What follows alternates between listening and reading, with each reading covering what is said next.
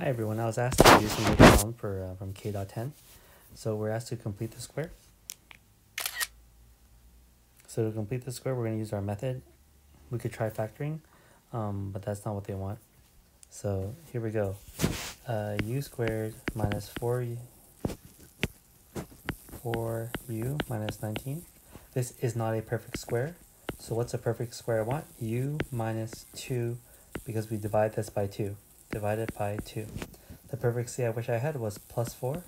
If I add 4 and minus 4, we combine that to be negative 23 equals 0 squared.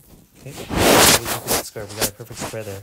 Again, just double check this is u squared minus 4u plus 4 minus 23 gives us back to the 19 we started with.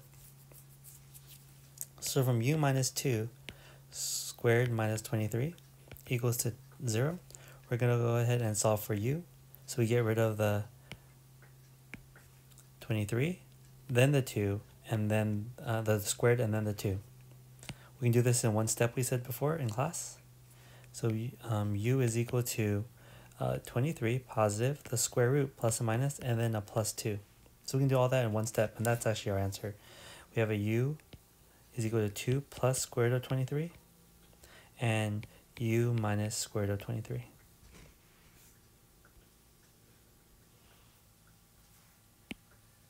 We said it was u is 2 plus square root of 23. Oh, they want us to round the numbers, so we need a calculator. Let me take out my calculator.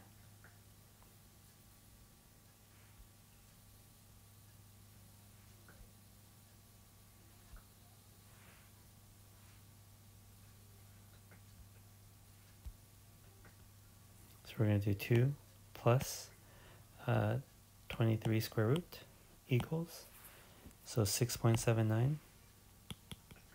They wanted us to round to the hundredths place, so I'm going to round that up, 6.80. Next one is 2 minus square root of uh, 23. And we're ending with negative 2.9, 2.79, rounding up 2.8.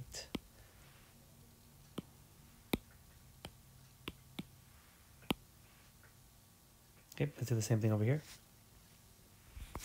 In this problem, they put 43 on the other side, and you don't need to move it, but I'm going to move it just because that's how we've been working it.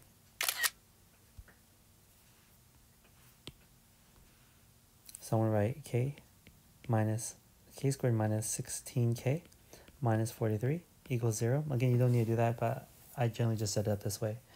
And we find our perfect square, which is 8x, sorry, k minus 8, because we always divide the middle term by 2. And then our perfect square is going to be plus 64 minus 64 because 8 squared is 64. We combine that to become a 60, negative 64 minus 43 is negative 107. And now we can solve it. Get rid of the 107, the square, and the 8. k is equal to 8 plus and minus the square root of 107. Again, this is two answers. k could be 8 plus square root of 107 and 8 minus square root of 107 and that's just us plugging that into the calculator.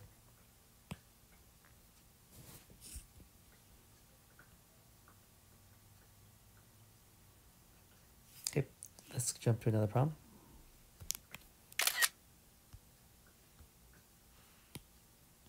We have k squared equals to, oh, k squared minus 16k minus 43. I'm going to go ahead and just complete the square, right, as we see it. k minus 8 squared our perfect c we wish we had isn't 43. It's, we're to say 64, right? Because 8 squared is 64. If I add 64 and minus 64, we combine that to be, oh, we just did this one. No, we didn't, did we? No, that's so close. That's again 100, so that's 64, I'm sorry, 64. That's 107 again, so minus 107. And if we solve for this, k is equal to 8 um, plus and minus the square root of 107. Again, how I did that was I first added 107 took the square root of that, and then plus the 8 over.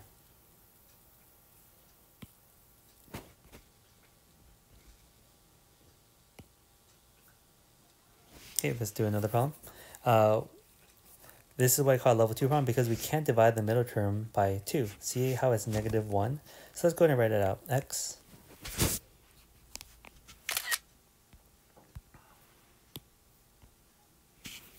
x squared minus x minus 7 equals to 0. We're going to go ahead and complete the square, and we follow the same exact rules.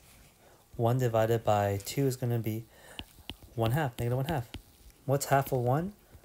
That's just 1 half, right? That's half of 1. Perfect square is, we're going to write the square plus 1 over 4 minus 1 over 4 because 1 over 2 squared is 1 over 4.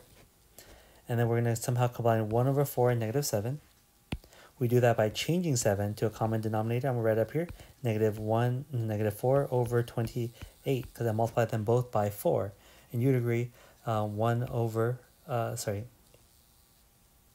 oops, I spun it around the wrong way. It should be 28 over 4, I'm sorry. 28 over 4. The reason why if I write 7, and we're at a common denominator of 4, we are at 4 over 4. And we're at 28 over 4. And now we have a common denominator uh, they're both negative, so negative 29 over 4. Okay, don't forget the squared. Now we're going to kick it out over, kick the square over, and kick the 1 half over. x equals to 1 half plus or minus the square root of 29 over 4.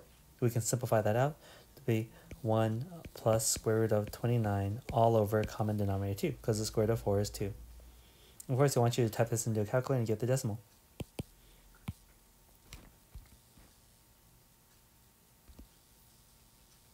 Do one more. Okay, this one looks a little messy. Now, for, so we didn't go over this in class, but let's go ahead and go over it. The goal is to get rid of this a value. And you can see a value is negative, uh, negative 4. And we complete the score, we complete the score without any a value. And that's one of the key tricks about this. So here's what we do. We say we have negative 4x squared minus 20x. I'm going to move this over, plus 92 equals 0. And we're going to divide the 4 out, negative specifically, because I don't want the negative there either. Negative x squared plus 5x minus, that's going to be 4 goes into 9 two times, and 4 goes into 12 uh, three times. Okay, from here, this is uh, going to be a little bit more work here, because this is what I call a level 3 problem. We're going to go ahead and still complete the square by bubbling up. x plus 5 over 2. We always divide the middle term by 2. Square it. Now the perfect C I wish I have is going to be plus 25 over 2 minus 25 over 2. Please notice I actually write everything inside the parentheses. Last part, we need to combine this. So our common denominator would be uh, minus, uh, 46 over 2, because that's the same thing as 23. We can combine them together. We end up with um, negative 60, negative 71 over 2. Now we have 71 over 2 here. Now, please be careful, this is all inside the parentheses, so we have to multiply the 4, negative 4, to kick it out. When we multiply it to kick it out, it will be a positive 71 over 2 times 4, sorry, these are both negative, and the 4 and 2 divide out, leaving me a 2, and we're left with 142, 142 equals 0.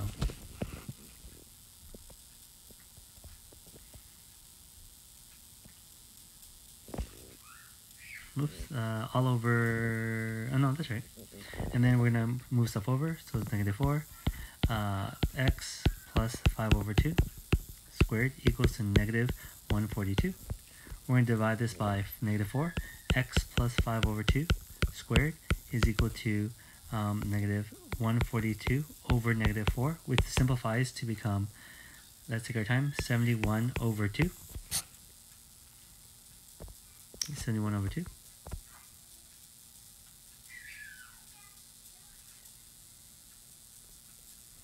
And then we're going to um, take the square root of that and get rid of the 5 over 2. Nope, it's over 4. Wait. Hmm, over 2. That's kind of weird. Actually, you know what? I'm actually not going to reduce that because I actually I need the 4 for the square root. I'm sorry about that. This becomes 142 over 4. We're going to take the square root of both sides. x equals to 5, negative 5 over 2, um, plus or minus the square root of 142 over 4. We can reduce that. Become x is equal to, darn it, um, x, well this is all equal to negative 5 plus and minus square root of 142 over all a common denominator 2.